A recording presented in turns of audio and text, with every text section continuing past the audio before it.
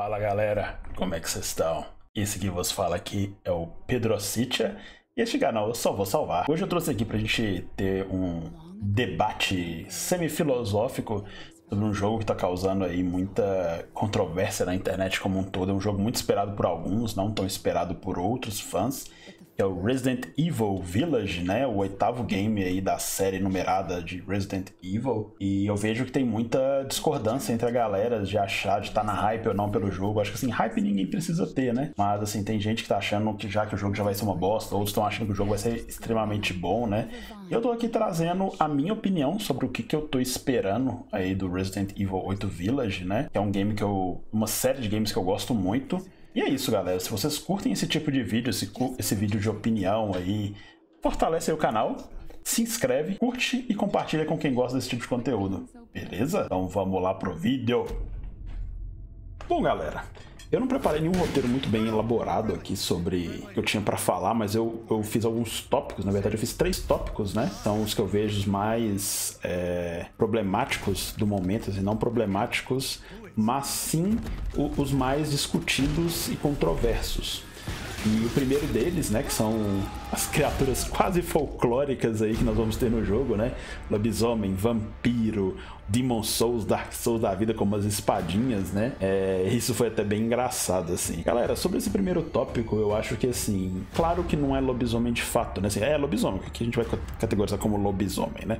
Se eles chamarem, é um cara peludão, pô, com os dentão, que vai sair. A gente vê até que tem um com um martelo gigante, né? Nesses últimos trailers com gameplay. Mas, assim, tudo vai ter uma explicação, né? Resident Evil sempre trabalhou com a questão das armas biológicas, né? As BOWs. Então, assim, isso que todo mundo tá cansado de saber, cara não, não é, não é. Não existe sobrenatural em Resident Evil. Não existe é, monstro vampiro que usa poder da mente Drácula e tal. Não, não tem disso, cara. É, e assim, o que, que, deve ter uma explicação muito plausível pro, pro que, que a gente vai ver. Eles pegaram para esse tipo de folclore, né? Pra fazer as criaturas aí de bem Van Helsing.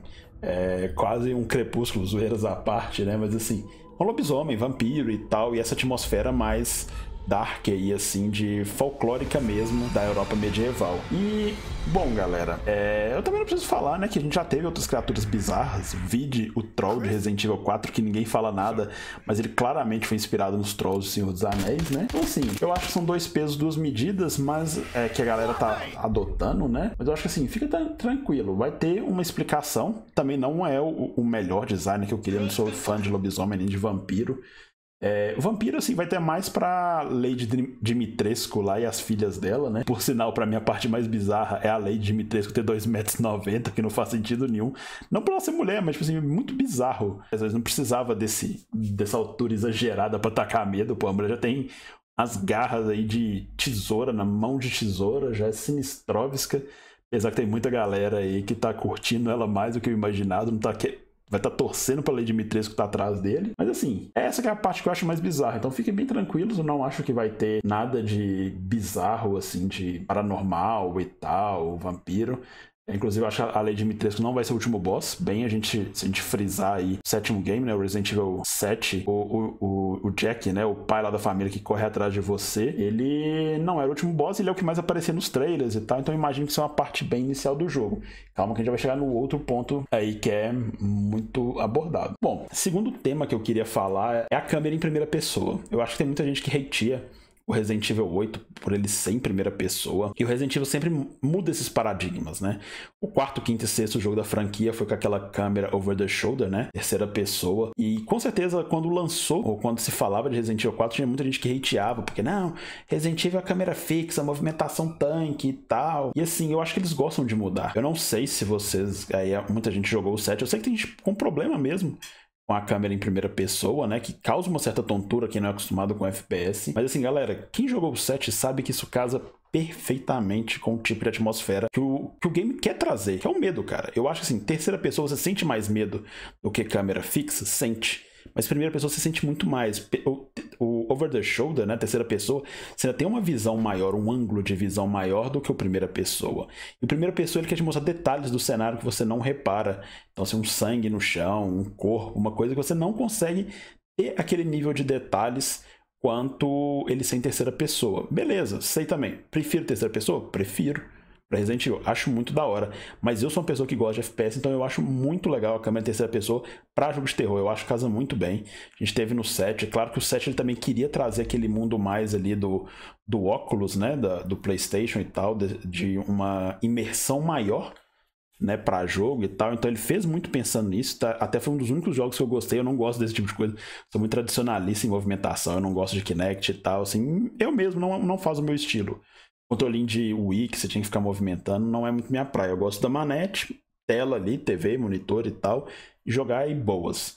E eu até achei interessante, exceto que assim, dá um, uma vertigem muito forte, não vertigem, mas dá um enjoo de você jogar com aquele óculos, pelo menos para mim, foi muito bizarro.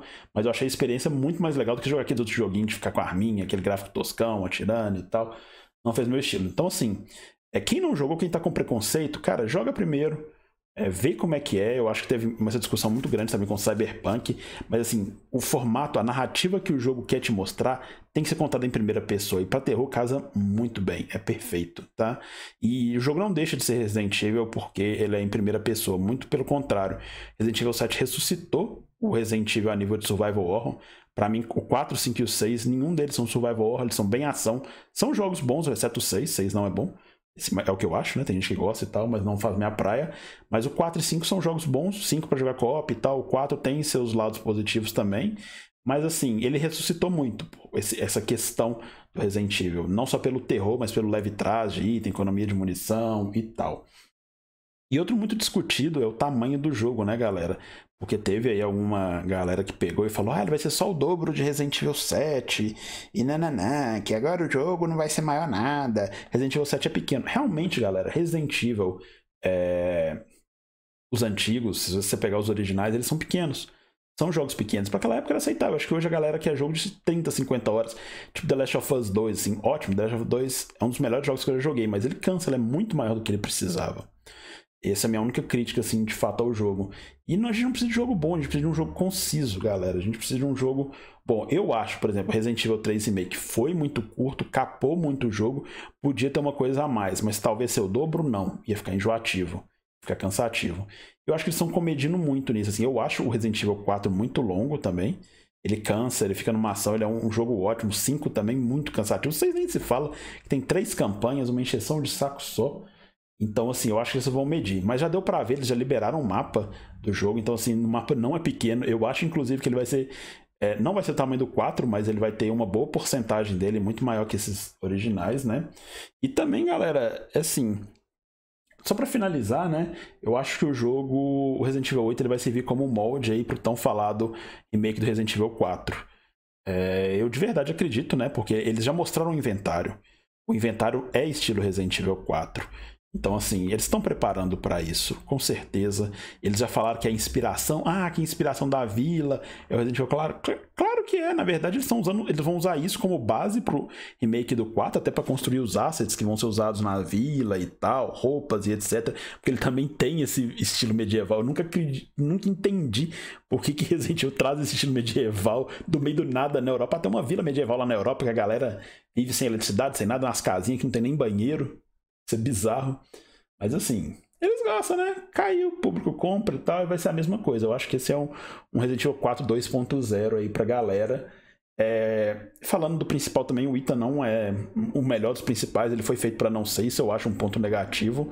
Eu acho que ele tinha que ter mais é, perfil, inclusive eu acho a Mia muito mais interessante que ele, porque ele não tem mesmo uma história, uma fe... a gente não cria uma afeição por ele no Resident Evil 7. Ele, ele era para ser o espelho do jogador e eu não gosto muito desse estilo, assim. Acho que a gente precisa ter um personagem principal forte. Mas galera, eu tô bem esperançoso, não vou dizer hypado, porque depois de Cyberpunk eu evito ter hypes em jogos. Mas eu tô aí querendo ver o jogo, porque eu sempre gosto de todos os Resident Evil. Eu gostei do 3 Remake, apesar de tudo. É um bom jogo, não é maravilhoso, mas é um, um jogo ok. Comprar na promoçãozinha, jogar e tal, é bem da hora. Então eu tô com boas expectativas quanto ao Resident Evil 8 Village. Eu acho que assim, tem muita coisa que a gente ainda não sabe. Ele tá chegando, chega agora no início de maio, né? A gente tá indo na metade de março, então falta um mês e meio, pouco mais de um mês e meio. E eu acho que tudo vai ser explicado. A galera tem que ter um pouco de paciência, igual. Lembro que no início também muita gente criticava Resident Evil, muita gente ficou com o pé atrás, né? Da galera mais tradicionalista, e a gente tem que manter a cabeça aberta mesmo para as experiências e ver o que, que tá vindo de novidade, né? Bom, galera, então é isso. Vocês curtiram esse tipo de vídeo, vocês curtem esse tipo de opinião, eu peço que vocês mandem o um like para o vídeo, se inscreva no canal e compartilhe com os amigos. Beleza? Espero que todo mundo tenha curtido. Se você discorda de alguma opinião minha, manda aí nos comentários. Sou todo ouvidos e olhos também para ler, é, mais olhos nessa questão.